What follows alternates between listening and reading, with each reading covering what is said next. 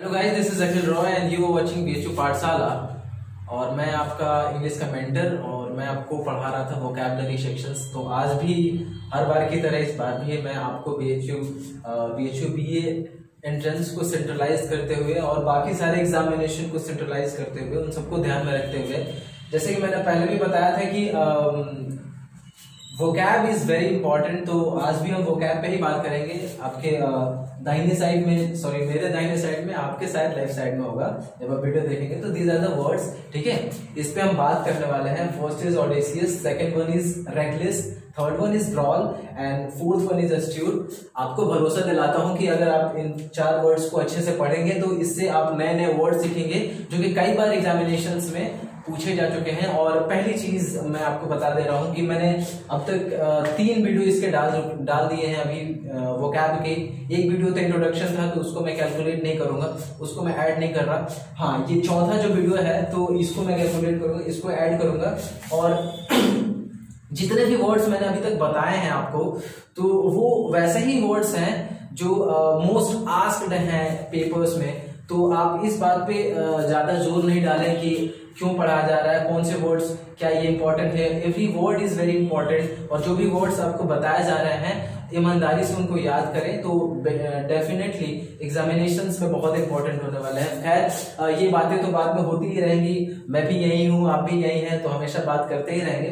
तो बिना किसी देरी के इसको स्टार्ट करते हैं। फ़र्स्ट इज़ ऑडिशियस मैं यहाँ लिख देता हूँ ऑडिशियस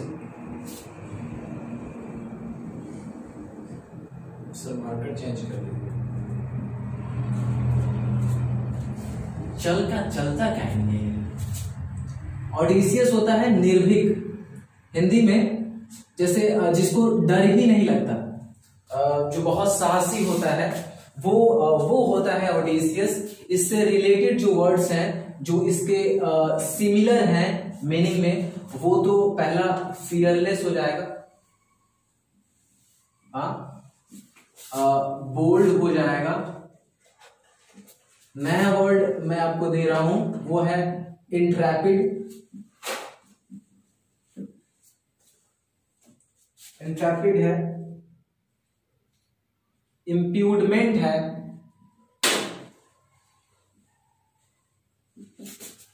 एफ्रॉन्ट्री है,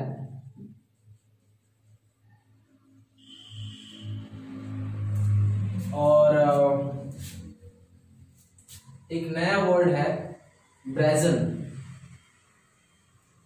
So these are the words fearless, bold, intrepid, impudent, effrontery और brazen. ब्रेजन नया वर्ड है और ये पिछले ही बार जब सीजीएल के एग्ज़ाम्स हुए थे तो उसमें ब्रेजन पूछा गया था तो ब्रेजन बहुत इंपॉर्टेंट है और सबको ध्यान में रखते हुए मैंने जो पेपर्स बनाए हैं और जो वर्ड्स जो बेसिकली मैं आपको देने की कोशिश कर रहा हूँ, वो एम के लिए भी इम्पोर्टेंट है सी एच एस के लिए भी इम्पोर्टेंट है एयरफोर्स के लिए भी इम्पोर्टेंट है navy S S R double A के लिए भी इम्पोर्टेंट है और उसके अलावा सीजीएल के लिए भी इम्पोर्टेंट है। तो इस बात से आपको डरने की ज़रूरत नहीं है कि क्या ये वर्ड्स वाकई बेनिफिशियल है? हाँ ये बेनिफिशियल है। इसके एंटोनिम्स की बात कर लेते हैं। मैं एंट लिखता हूँ, हमेशा एंट का चीटी नहीं समझने, आप एंटोनिमस आप समझदार है, समझ भी रहे होंगे। एक तो पहला फियरफुल टीमिड डरपोक जिसे कहते हैं कवर्ड बैसफुल और एक है pushy लैनिमस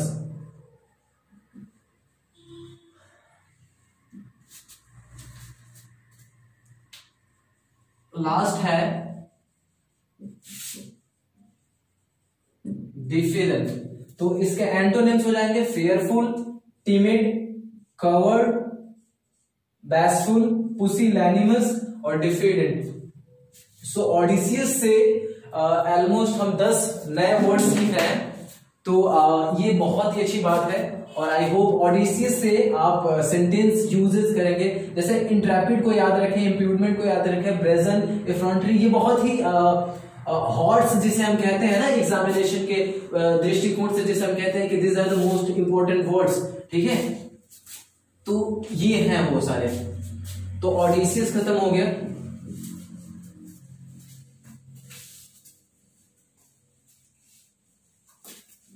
Next word is which I'm using is astute.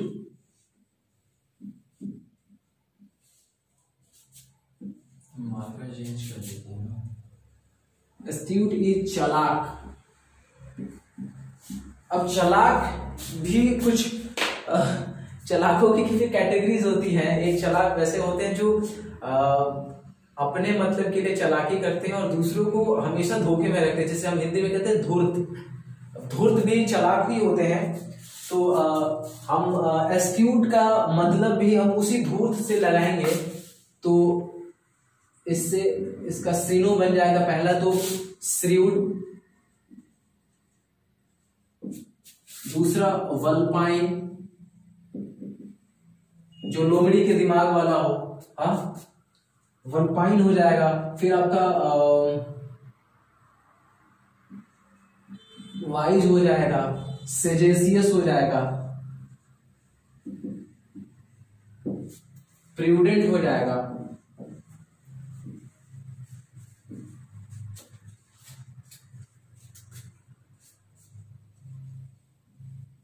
Canny हो जाएगा।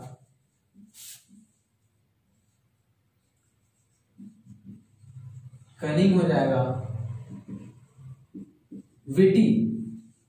विटी आमतौर पे वैसे लोगों को कहा जाता है जो हाजिर जवाब होते हैं और जो विटी जो लोग होते हैं वो धूर्त होते हैं। झूठ बात को भी इस कुछ इस तरह से डिफाइन करके बताते हैं और झूठ बात को भी कुछ इस तरह से आपके सामने बताएँगे जैसा लगेगा कि मानो वो सच ही है।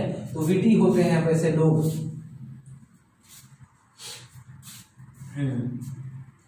these are the synonyms and uh, its N2 is पहला तो वो हो जाएगा innocent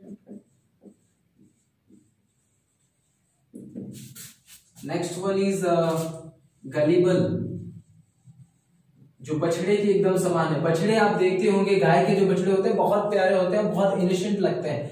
तो गलीबल का सेंस वो है। वल्पाइन जो लोमड़ी के दिमाग लेकर के पैदा हुआ है। यानी लोमड़ी बहुत ही जानवरों में सबसे चालाक और धूर्त जो होती है, आपने आमतौर पे बहुत सारी स्टोरीज भी सुनी हुई हैं। तो वल्पाइन उससे रिलेटेड है। वल्पाइन हो गया। फिर आर्टलेस हो गया। अच्छा इसमें मैं एक और वर्ड यूज़ कर देता हूँ यहाँ। आर्टफुल राइट और एक और है crafty.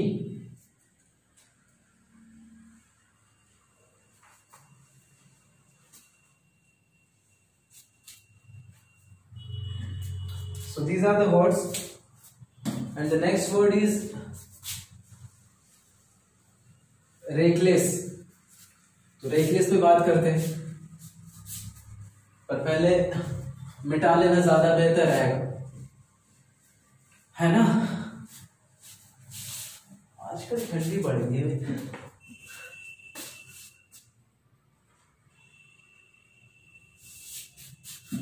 पता नहीं, इसको हमसे क्या दुश्मनी हो जाती है।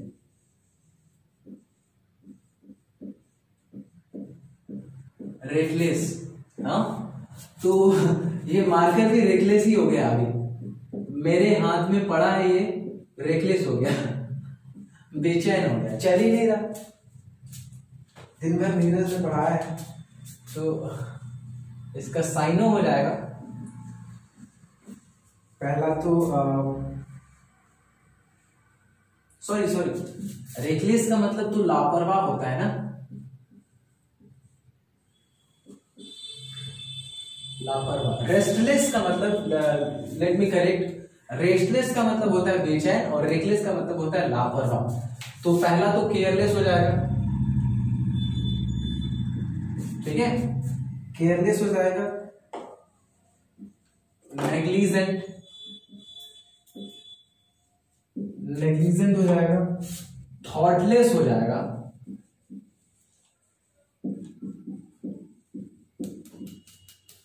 उसके बाद इनकंसिडरेट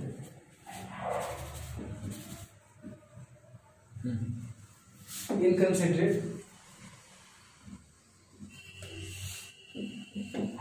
इसका एंटो हो जाएगा। पहला तो केयर पहला केयरफुल हो जाएगा, फिर कॉजियस हो जाएगा, फिर कंसिडरेट हो जाएगा।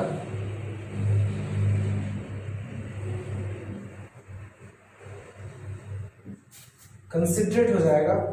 फिर एक नया वर्ड जो है हीडफुल हीडफुल हो जाएगा। तो रेकलेस का synonym careless negligent thoughtless inconsiderate antonyms हो जाएगा केयरफुल कॉजियस जो हर चीज़ों को लेकर के कॉजियस है, फिर उसके बाद कंसिडरेट फिर उसके बाद heedful these are the words ठीक है, जो रेकलेस को डिफाइन करते हैं रेकलेस के सीनो और एंटो को बताते हैं। तो खत्म ये। फिर उसके बाद हम आते हैं ब्रॉल और ब्रॉल जो वर्ड है ना ये इससे हम कभी काफ़ी नए वर्ड्स सीखने वाले हैं।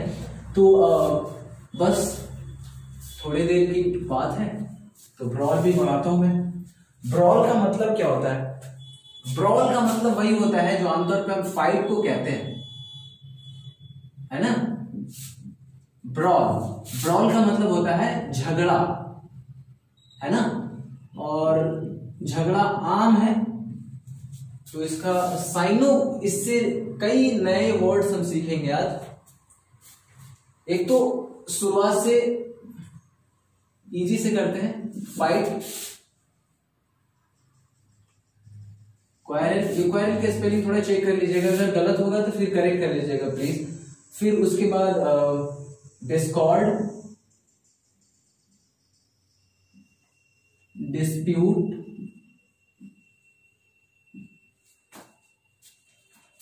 ड्वेल ऑल्टरकेशन ये बहुत इंपॉर्टेंट है altercation altercation scuff scuff skirmish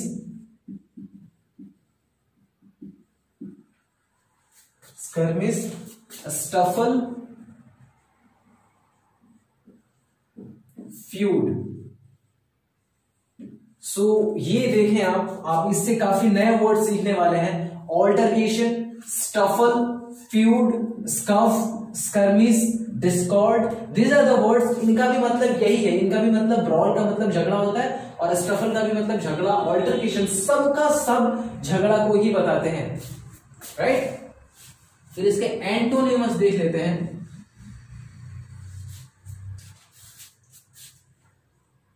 Discord का उल्टा होता है concord amiable.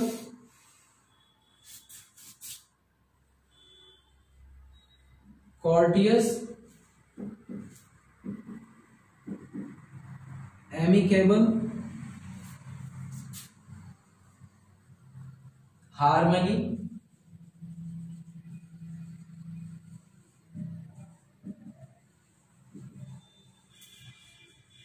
friendly so these are the words जो इसके एंटोनिमस के तौर पे हम इनको याद रख सकते हैं। क्वारल ब्रॉल का मतलब झगड़ा और एमिएबल क्या होता है? एमिएबल वैसे लोग होते हैं जो मिलनसार होते हैं, जो आपसे हमेशा प्यार से बात करते हैं। तो जब आप प्यार से किसी से बात करते हैं तो देर इज़ नो कंडीशन की कोई झगड़ा होगा। तो इसका एक ऑपोजिट के तौर पे, एक एंटोनिमस के तौर पे हम amiable courteous amicable friendly harmony concord these are the words which can be use as antonyms so these are the four words which I had to teach you and I hope that the section is gonna be very very fair और आपने काफ़ी कुछ सीखी होगी, नई, नए word सीखे होंगे तो आई होप अगर आपको अच्छी लग रही है वीडियोस तो please do share do like keep learning hard and the most important keep using this words in your sentences while when you speak कम से कम इन वर्ड्स को यूज़ करें क्योंकि this are the most important factor और जब मैं इसको पढ़ा रहा हूँ तो मेरा एक मात्र विजन यही है कि जब हम चीज़ों को लिख रहे हैं और और, और लिख के याद कर रहे हैं तो उसका करेक्ट यूजेज होना बहुत इंपॉर्टेंट है। तो with that with that sentences I just wrap up this class hope it will definitely help you in your future thank you very much good bye